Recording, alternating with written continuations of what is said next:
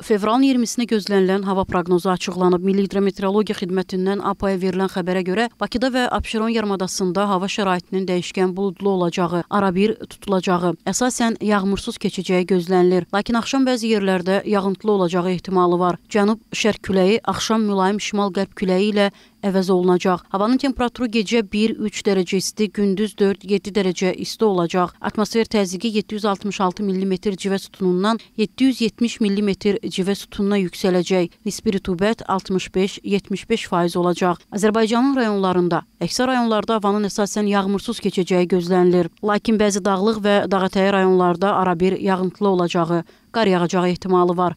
Arabir duman olacaq. Şərq küləyi əsəcək. Havanın temperaturu gecə 0-5 dərəcə isti, gündüz 6-11 dərəcə isti. Dağlarda gecə 5-10 dərəcə şaxta, gündüz 0-5 dərəcə şaxta olacaq.